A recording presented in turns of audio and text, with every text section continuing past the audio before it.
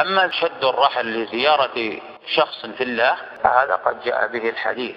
إنما النهي عن شد الرحل للمكان. ومن ثم فإن المسلم يستحب له أن يزور المسجد النبوي وأن يشد الرحل إليه.